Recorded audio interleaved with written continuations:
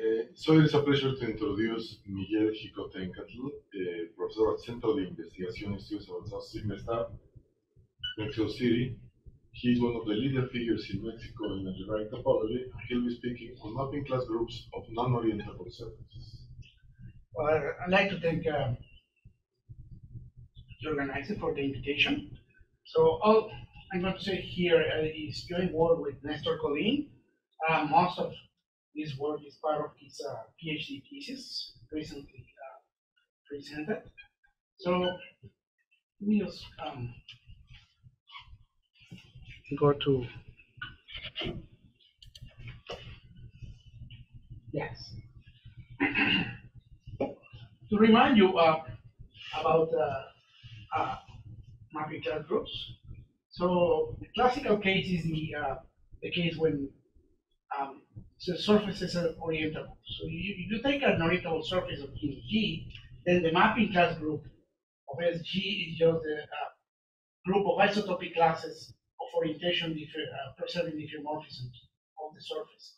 This, they can be thought as, as the quotient of the orientation preserving diffeomorphisms, but those um, isotopic to the identity. And uh, some, some first examples are presented here.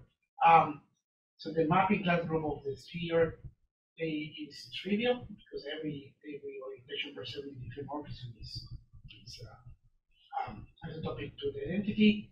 And a much more uh, elaborated um, example is the one from torus, um, where the uh, mapping class group is the classical modular group SL2Z. Right? So a, a lot of um, all the others know about mapping class groups. For instance, they they're generated by uh, Dehn twists about uh, a finite number of curves. Um, and, and there's some variations where you can include mark points in the surface. So you, you start with the diffeomorphisms, um, orientation preserving diffeomorphisms of the surface that leave a set of um, k-point invariants, and you look at the uh, set of path components uh, of those. Um, all right.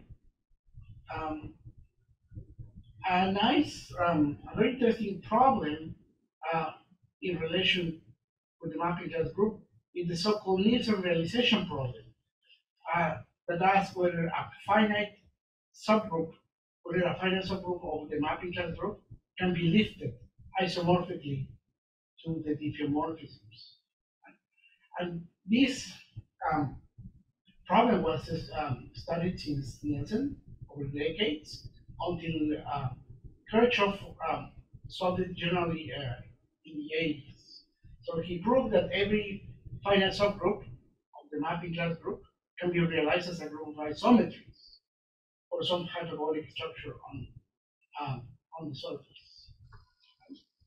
Um, so, so even even more than realizing them by diffeomorphisms. Um, so there's a, another way to um, um, to say this, and uh, one, one can observe, for that one can observe that the mapping class group acts on the Teichmüller space of complex structures on the surface, so that um, the quotient is the modular space of Riemann surfaces. And um, so another way to rephrase this uh, result is by saying that every finite subgroup of the mapping class group um, acting on, the Teichmüller space has a fixed. Um, so now one, one, one can define, Uh, Ah. excuse me, yes, is this corollary, is, is it corollary of this? Uh, eh, yes, yes, it's probably another way to say this. uh, Okay, well, well, I, I don't, I don't, there's no mention of hyperbolic structures here, so yes, it's, it's a corollary. But this is, um, um, I'm sorry, so you mean that these two statements are equivalent or or one implies the other? uh, at least uh, the, the first one implies. The other, Yeah. Could you, could you please explain why is it obvious.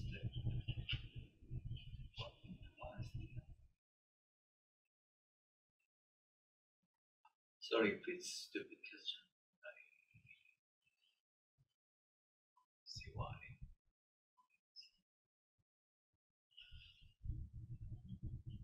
Well,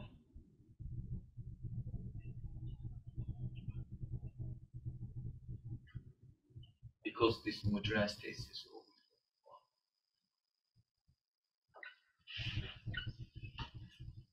always right, um, we, we're thinking of the, uh, on the mapping group acting on, on the structures.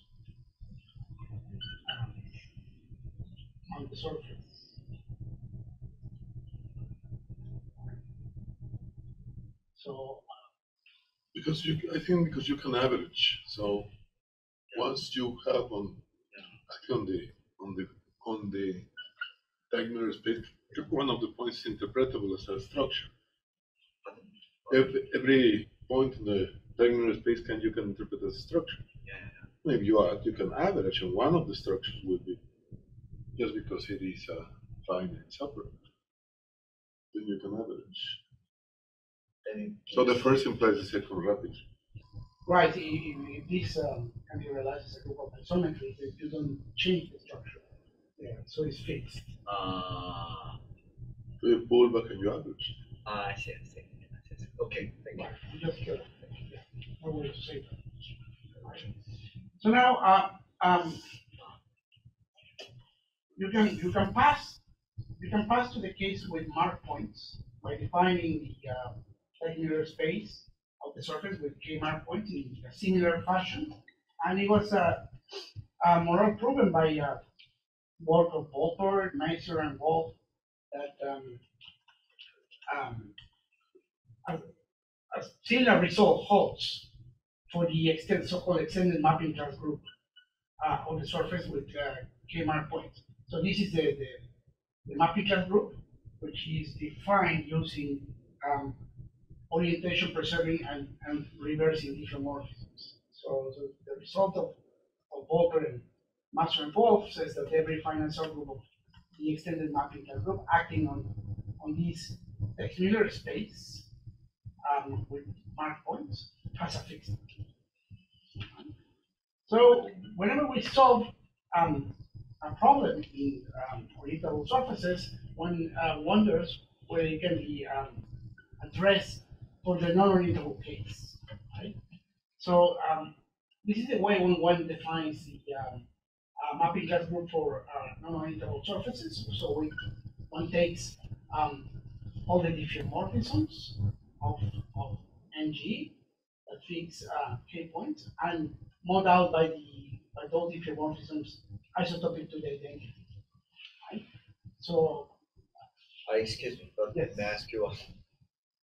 That's a related question. So I mean, so can I also say something like this for other type of subgroup of magnetic class group?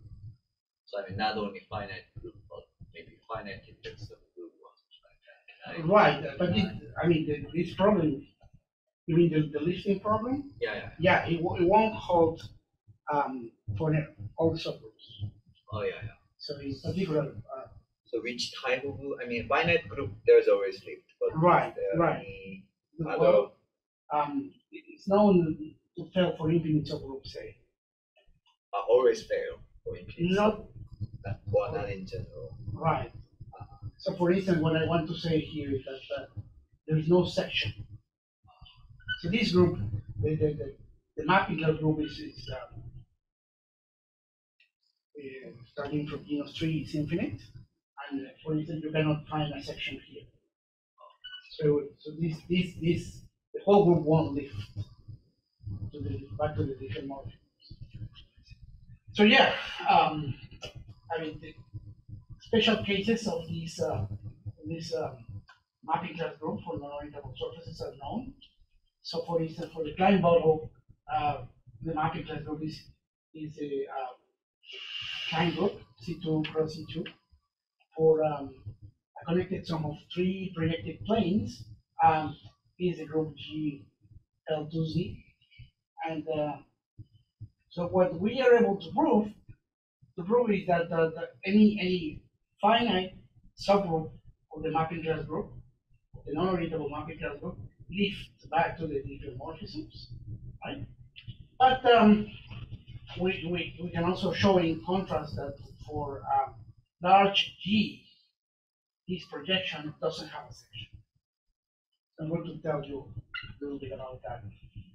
Um, so in, in, order to work with Teichmüller spaces, we um, and now uh, we see non-orientable surfaces as Klein surfaces. Right? So we know whether we know that the, the map and the function that the function is analytic, it, it satisfies the uh, Cauchy-Riemann equations. So we can um, say that if it's anti-analytic, if it satisfies um, corresponding system of equations um, with respect to the conjugate uh, variable, and we say that the map is dianalytic if the restriction to uh, connected components is one for the other, right? So um, a Klein surface is just analog of a Riemann surface, um, asking that the change of uh, um, charts is the analytic in general. Right? And we will be, uh, denote the set of the analytic structures by M of sigma. So now we can we can talk about uh, morphisms between uh, Riemann surfaces, between Klein surfaces, and, and, those are maps, continuous maps, so that um, um, they are dianalytic uh, locally, and also uh, given a, a Klein surface and a diffeomorphism, say from sigma to sigma, we can uh, uh, define the pullback of the given the analytic structure as the only structure so that this map is the analytic morphism. All right. So now, um, um, if you're given um, an unorientable Klein surface, um, an orientable double cover for that is going to be a Riemann surface um, together with the analytic projection, right? And also um, with equipped with an analytic involution in this way, so that uh, the projection um, is compatible with, with the involution. So in the compact case, uh, we're just looking at, at the double cover of an unorientable surface in this way, so that this um, um, diagram commutes. Right? So, so we're um, so in this case we have a, a Riemann surface equipped with a with a an involution, so that ng is gotten by quotienting out um, the Riemann surface by the involution. Right. So now uh, every uh, diffeomorphism of an unorientable surface that is k-point invariant uh, admits two lifting to the uh, orientable double cover. And one of those, um, exactly one of those preserves orientation. Right? So this induces a map, actually a, a homomorphism from this group of diffeomorphisms, the orientable surface, to the group of uh, orientation preserving diffeomorphisms of the double cover, right? Um, leaving um, 2k point invariant. And this, this homomorphism passes uh, to the level of mapping class groups in this way. And it's, um, known that, um, well, if you don't have mark points, then this, uh, homomorphism is injected in the genesis of this tree. And um, if you have at least one mark point, then this map is, this, this homomorphism is always injected for every gene. Right? So, so we can inject the mapping class group, the non-orientable mapping class group into the orientable one, right? And also, um, we have a similar situation at the level of Teichmüller spaces. So in general, if um, you have two dianalytic structures in your surface, we're going to say that they are Teichmüller equivalent if they differ by um, a diffeomorphism which is isotopic to the identity. Uh, another way of saying is that uh, um, X and Y two dyna- dianalytic structures on a Klein surface are, are equivalent if there is a, um, a diffeomorphism isotopic to the identity, so that uh, one is a pullback of the other on their path, right?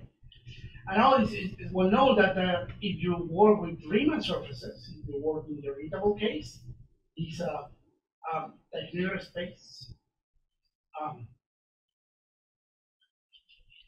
um, which is a quotient uh, of the um, space of all structures under this action um, is an Euclidean space of dimension CG minus 6 plus 2k, and in the non-orientable case, um, it's an Euclidean space of dimension 3g minus 3 plus 2k.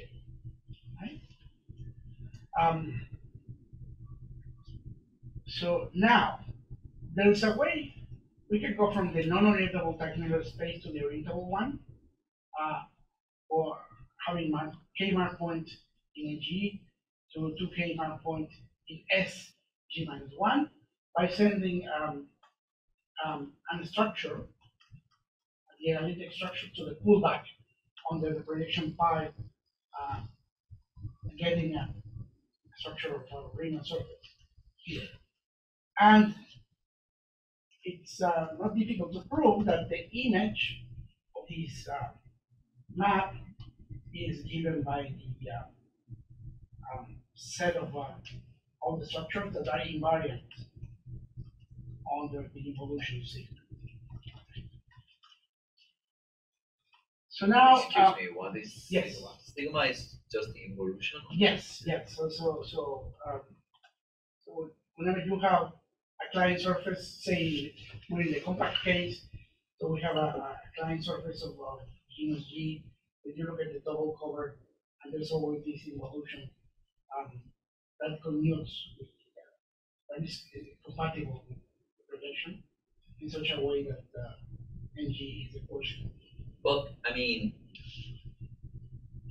how can I say? So, but you when I when I start from this SG minus one, this Riemann surface compact to oriented Riemann surface with genus G minus one, you Yeah. fix you fix sigma, then I mean, so there can be many sigma, right?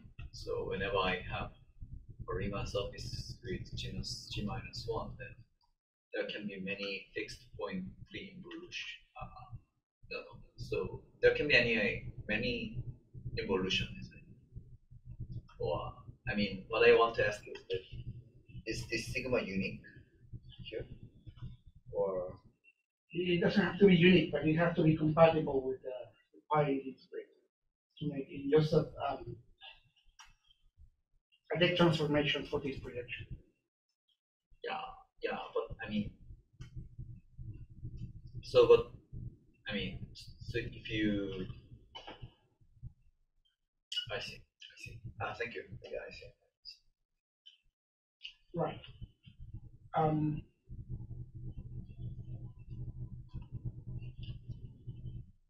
right. So, um,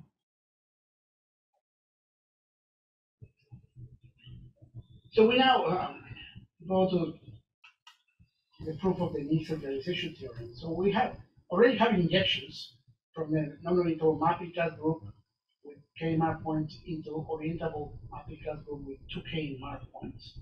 And uh, by pullbacks, we have an inclusion um, of the Teichmüller space of NG with k mark points into the Teichmüller space of NG minus one with two k mark points. So now um, the mapping class group acts on, on the Teichmüller space by pullbacks. Um, is in the case, so this group acts on this space, and also this group this space. And um, well, the natural uh, expect is that uh, these inclusions are equivalent with respect to these actions. Those are, Andres was telling us in the previous talk. So um, all the functions are, are compatible in this way.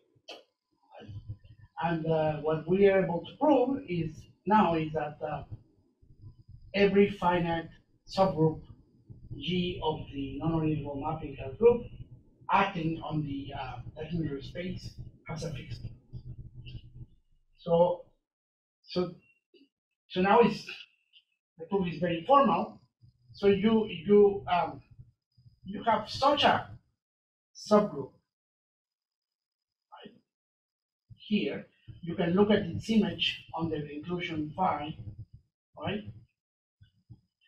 And then think of the, the group generated by the image of G and the class of the involution. Right? Remember, this is an orientation reversing um, uh, uh, map here. So, so you land in the extended mapping class group, right? Well, you already know that um, that finite subgroups of well, actually, when one can prove that um, that uh, um, that this image commutes with the class of, of sigma, and then the subgroup generated by those is just the product of G cross sigma 2. Right? But we already know by the results of Popper and others that um, um, this finite subgroup of the extended mapping class group has a, has a fixed point. Right? So there is a structure, there's a point of this terminal space which is by, fixed by uh, this product, and in particular is fixed on the, the involution. But we knew that um, all those uh, structures fixed on the, involution uh, correspond to the image of the Teichmüller space, the non-orientable Teichmüller space under pi. So now, um, so we know this is in the image. Um, so the class of y must be uh, pi star of, of x for some structure uh, on, on NG. Right? And then uh, it is to see that this is the uh, fixed point we were looking for. So we have this this um, equality, and since uh, pi star is a monomorphism, since pi star was a, an inclusion, then you get that alpha um, applied to x, it's precisely x. So this is the uh, fixed point. All right. So back to your question. So what about other groups? So um, what about infinite groups? Right? Can, be, can, can they be lifted? Well, ask something, sorry, about Yes. the previous, so, so can you say, I mean, is this, uh, fixed point in any way, uh, constructible, or, I mean, do you know, and can you say anything about it, uh? Because, you know, you, have a finite group, are you able to kind of identify the fixed point in any way, or, or is it this, I guess it's this result of Walter, right, that yeah. uh, so I don't know how constructible that is, so, um, uh, but,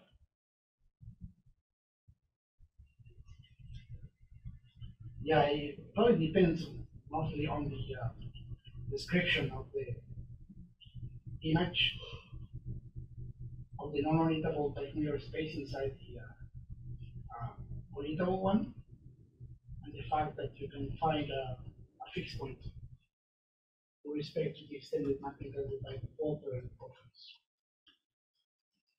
Um,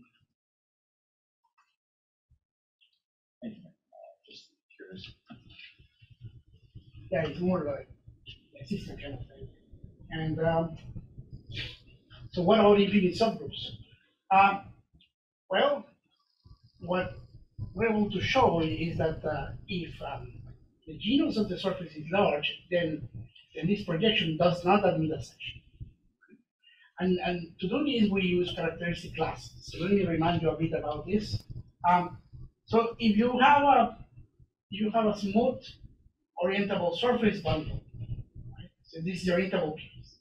So if you have a smooth bundle with um, SG, then you can always look at the so-called vertical bundle, which is the kernel of the differential. Give us a, a map of uh, two, between the two tangent bundles. And um, well, this this this is a two-dimensional oriented oriented vector, vector bundle over E. So it um, it has another class, right? And um, out of this um, Euler class, you can define the so-called uh, Miller-Morita-Mumford classes for the original bundle by uh, looking at the powers, the n plus one powers of the other class, and uh, taking the image under the Gysin um, homomorphism. Uh, from the cohomology of V to the cohomology of the, the base, and always the degree by two. Um, well, um, one application of those classes um, um, is a description of the uh, cohomology of the uh, stable mapping class group. Uh, um, and the thing is that, um, well, we have a universal bundle for the surface bundles, um, whose base is a classifying space of all the diffeomorphisms. These are these are supposed to be orientation percent diffeomorphisms. Sorry about that. And um, so that any other bundle, any other SG bundle is a pullback of the universal bundle, right? So, um, so we have classes defined for uh, this universal bundle and the classes for any other um, bundle are gotten as pullbacks. Um, so in in the case the genus is greater or equal to two, we know the cohomology of the classifying space is just the cohomology of the master class group, and it's a theorem of Miller, Morita, and Howard that the natural map from this polynomial algebra on the, the kappa i's um, is an isomorphism in this stable range. So that takes care of the, uh, that describes the irrational cohomology of the stable mapping curve. So now, what, what about the, the non-orientable case? Well, we don't have, in the non-orientable case, we don't have uh, Euler classes in general? So we uh, have to look for an alternative description for that. And, well, given a, recall that um, given this um, bundle map from E to B, we can define the so-called vector quality transfer from the suspension spectra of the base back to the suspension spectra of the total space, right? And um, this, this, transfer has many nice features. Um, well, we can we can think of the cohomologies of the suspension spectra as being the cohomology of the original spaces, and the thing we're getting is just a, a map um, in the wrong direction cohomology.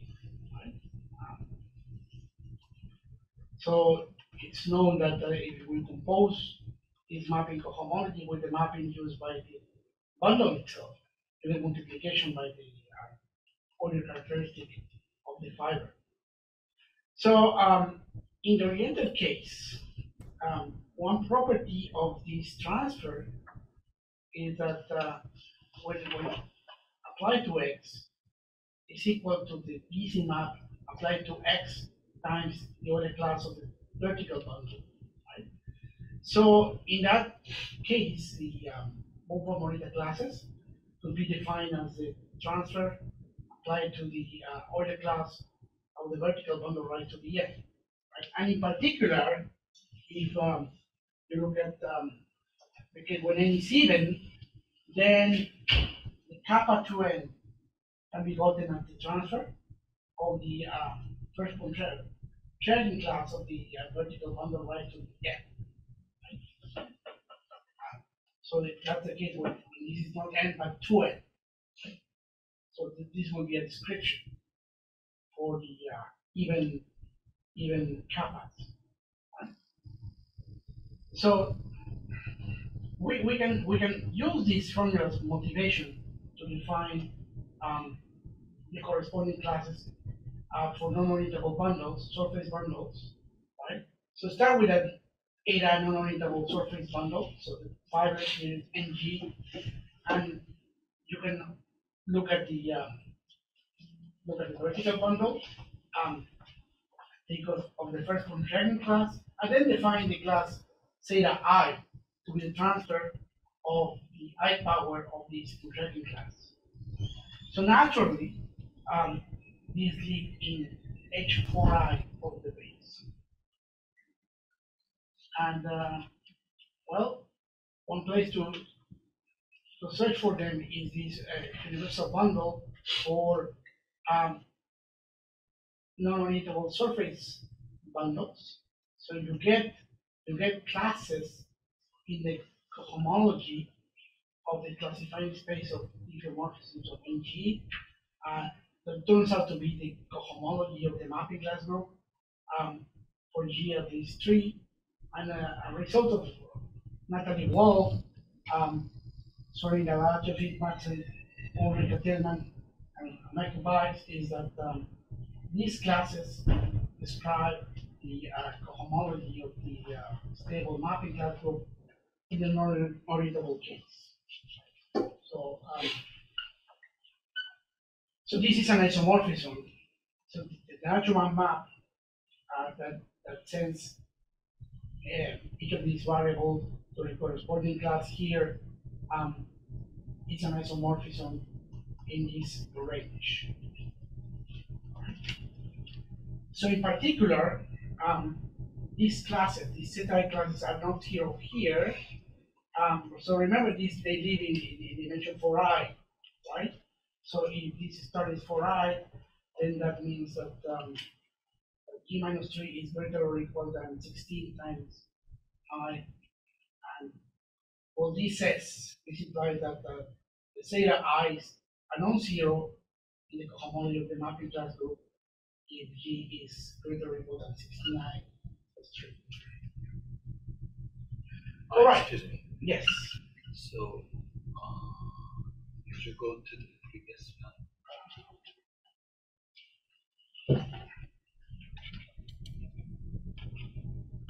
Something happened.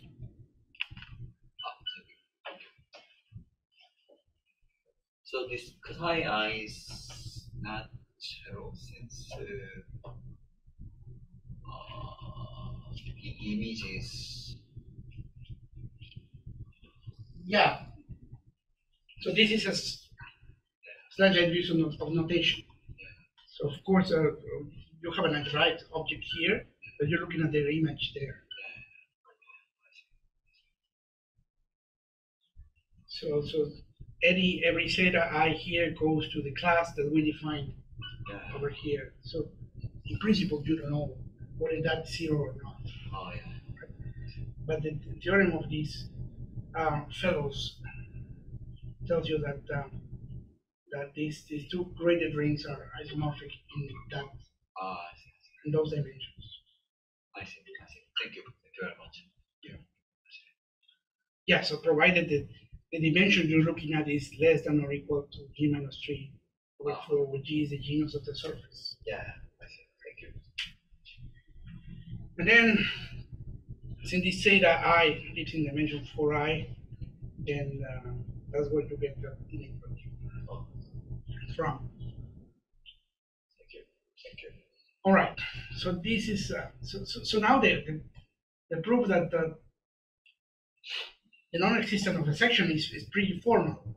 Um, so, uh, for that, what we do is, is we, we show this, this little lemma that says that uh, if you go from the diffeomorphisms uh, of the non-orientable surface to the mapping class group and um, look at this group as a, as a discrete group, then um, the image in cohomology of the zeta i's here is zero for i greater or equal to two.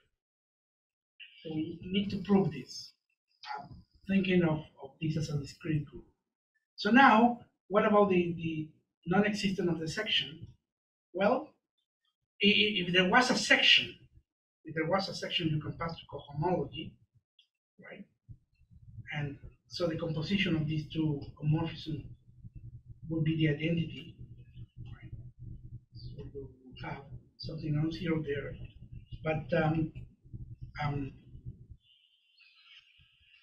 so for i equal two, um, we already know this class is non-zero if g is greater or equal to 16 times 2 plus 3, which is 35. Right? But this lemma tells us that the, uh, the image of zeta i is 0.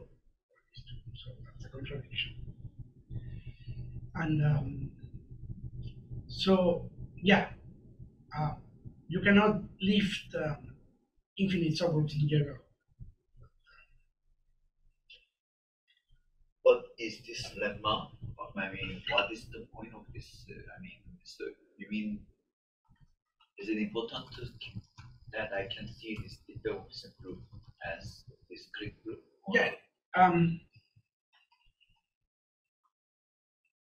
So I mean, for whenever I have discrete group, this this kind of I think vanishing force or I mean. So I mean, could you briefly explain what is the idea of this lemma? I mean, proof of this lemma. well, you- you're just comparing these, the cohomology, the cohomology of these two groups as, as, Ah, as um, discrete groups. So this, this, this is a discrete group. yeah, This is a topological group. yeah, yeah, So um, it- it's either you pass first to classifying spaces, yeah, yeah. and then um, think of the induced mapping cohomology, or compare them as a, a discrete groups. We don't need the topology. That, that- that's the point. That we don't need the topology. If you ignore the topology on this group, then um, the induced mapping cohomology, cohomology groups, uh, satisfies this. And this uh, uh, gives you the contradiction, as long as you take the genus high enough. All right, so um, so let me so so I, I said something about the rational cohomology. Let me talk about um, uh, uh, torsion? So what I wanted to say in the second part of the talk was to uh, um, um, give a few remarks about the Farrell cohomology of, of these mapping class groups. So um, cohomology is a cohomology theory that is uh, um, defined for groups that are virtually um, torsion free. So they, they, they contains um, um, torsion free subgroups of finite index, right? And that uh, index is known to, uh, is, called the virtual cohomological dimension of, of oh, no. Let, me say that again, the, the, the cohomological dimension of these uh, virtually torsion-free uh, subgroups um, is called the virtual cohomological dimension of the group gamma. So for these kind of groups, um, Farrell introduced the uh, um, what we call now the Farrell cohomology, and this is defined in terms of uh, of um, complete resolution for the group, and well, this is um, a generalization of the uh, Tate cohomology for finite groups in some sense. So um, the thing we know that is that um, that the Farrell cohomology coincides with the usual cohomology above the uh, um, cohomological dimension, we know um, that uh, the groups are zero if the group is torsion free, and all these are, are torsion groups. So in particular, when m is the integers, when we look at the homology with integer coefficients, you can decompose this as the product of the p-primary components. So um, with integral coefficients, we can talk about periodic cohomology. So we say the Farrell cohomology is periodic, or p-periodic if it satisfies this equation for a fixed d, right? And whenever you have a group with p-periodic cohomology, then the, the famous uh, Brown formula holds. Namely, you can you can recover the p-primary component of the cohomology as the product of the cohomologies of the normalizers of uh, um, cyclic subgroups of order um, of order p, where this product is taken of, of uh, over conjugacy classes of, of pits inside the group. All right, so now um, there is a way to um, to find a p period, and it's um, uh, gotten as, as follows. So say that you have a, one of these groups of virtual finite virtual cohomological dimension, right? So you can find a torsion-free subgroup there, right? And say that you have a um, subgroup of of prime order P inside of gamma, right? Since this is torsion-free, then this group passes to the quotient isomorphically, right? And um, one should remember that the multi homology of the CMOP is um, exterior on a class of dimension 1, tensor polynomial on a class of dimension 2. So uh, when you go from the cohomology of gamma to the cohomology of pi, uh, and reduce coefficient mod p, then this image lands only in the polynomial part of the cohomology. Moreover, um, it should land on a polynomial algebra, this form, um, on, on, on, a, on, a, power of this polynomial variable. Um, and uh, you can you can look for the uh, maximum m so that this image lands in this polynomial algebra. So it's uh, no, a well-known result that if, if, gamma has periodic cohomology, then the p period the, uh, is given as the uh, LCM of two times um, m of pi and gamma, where pi runs over our subgroups of order p.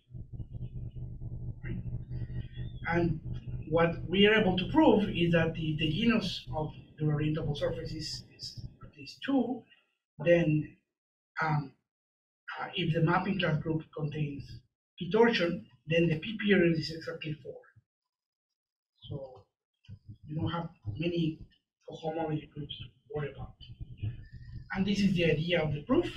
Um, so say that um, you have your your uh, CMOP P included in the mapping class group, and say we're working in the case k equal to one, one mark point. Um, so so so by the Nielsen realization theorem, you can leave this group to the diffeomorphisms of the surface. So you have a group uh, of order P acting on, on the surface, and um, well, you can you can get a favorable representation by uh, passing to the um, uh, differential uh, of every diffeomorphism, right? Um, provided that this group uh, fixes a point, x not say. So get that um, we get a a coordinate diagram this way, and you can pass to cohomology. Um, so it's well known that the uh, uh, Pontryagin class here goes to the square of the uh, uh, class, first Chern class here, right? And thus we can find um, a non-zero element in the cohomology of pi uh, that lives in dimension four, right? So dimension four corresponds to, since it was two-dimensional already, corresponds to m equal to two, right? And two times two is four. That's where you um, get that the p is four. All right. Um, so what about um, the computation of the uh, cohomology? So I, I told you that uh, cohomology for um, these kinds of groups, whenever the group has p-periodic cohomology, can be gotten as the product of the cohomologies of the normalizers, right? Of um, inside uh, gamma. So we need to classify those, and um, well, this is was classically done uh, by Nielsen and other people uh, by means of the fixed point data of diffeomorphisms. So, um, say that you have a, a orientation preserving diffeomorphism on a surface for a P. So this phi uh, uh, generates uh, a group of P acting on the surface. So for this um, uh, morphism, for this uh, diffeomorphism, uh, you have a finite uh, set of fixed points, right? And that we know is that uh, this, this, this phi acts by rotation on these groups uh, with respect to us some fixed Riemann structure. Um, moreover, you can correct this rotation by writing phi to some um, appropriate exponents so that these these rotations phi acts by multiplication by a by a primitive root of unity right? and the collection of these corrections is what we call the fixed point data for these diffeomorphisms so now um, what Nielsen proved is that uh, two diffeomorphisms of order P are conjugated if and only if they have the same fixed point data. And moreover, one knows that um, the fixed point data depend only on the isotopic class of phi. So can what you can conclude out of this is that if you uh, define um, the fixed point data for an element in the mapping class group uh, as the fixed point data of a representative, then two elements in the mapping class group are conjugated if and only if they have the same fixed point data. Right. So now um, you can do the same in the non-orientable case, um, given a, a diffeomorphism for the P um, in a non-orientable surface, you can you can uh, define similarly the fixed point data. Uh, this time these are defined are well defined up to a sign, right? And we introduce this this equivalence relation, this congruence. We say that uh, uh, um, delta phi is congruent to delta phi prime if and only if the um, the corresponding fixed point data uh, differ by plus or minus one, right? And we can include the case of uh, mark points by um, by defining the fixed point data uh, of phi to be um, a t-tuple of this sort, where the first k betas give you an ordered tuple, and um, they're a fixed point data of the of the mark points, and the rest are um, an unordered minus k tuple, and um, we can we can introduce here a similar um, uh, congruence relation, and this is well defined uh, on, at the level of mapping class groups and mapping class group with uh, mark points.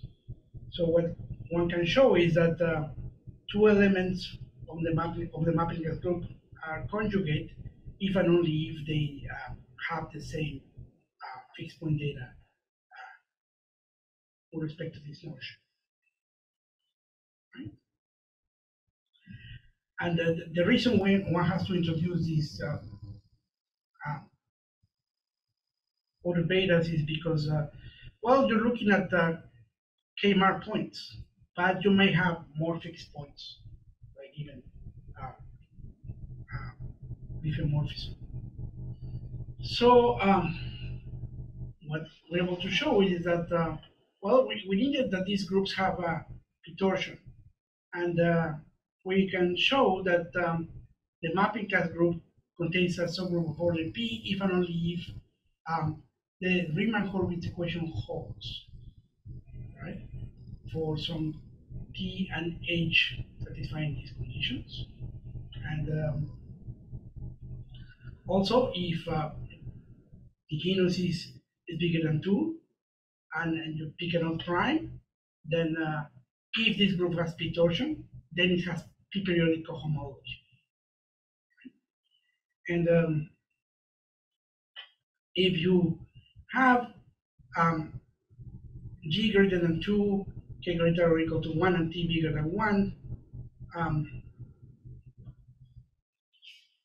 are integers satisfying this, this, this equation, then when you can uh, see that um, there's a one-to-one correspondence between congruence, congruence classes of tuples of this sort, of fixed point data of this sort, satisfying this condition, and conjugacy classes of order P subgroups of, of the mapping class group um, acting on the surface with T fixed points.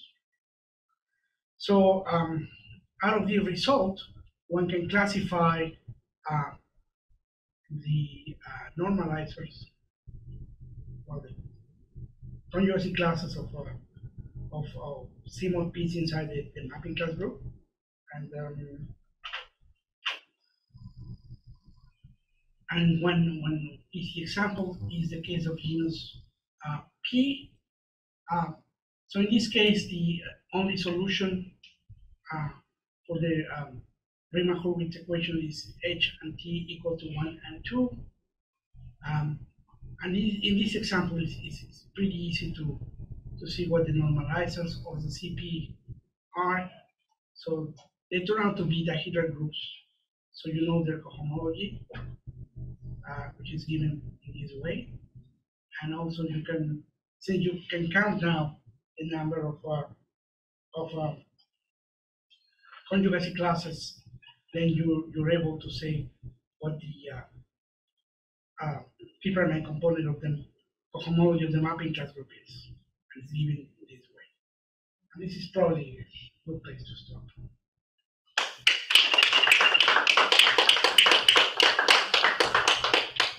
Any questions? So the theorem from the previous, should think about it kind of the version of the this Nielsen theorem for the unoriented case. Uh, the characterization of the um, You mean the fixed point? Yeah, Yes, yes. Right. The thing is, you, you have to adapt the, uh, the notion of fixed point data here. that's why you have to do this kind of partition of the this beta the betas Yes. was made of uh, Well, I'd like to thank you all for your participation at the conference. Thank you. Thank you for making it a great conference. We'll see you at the next event.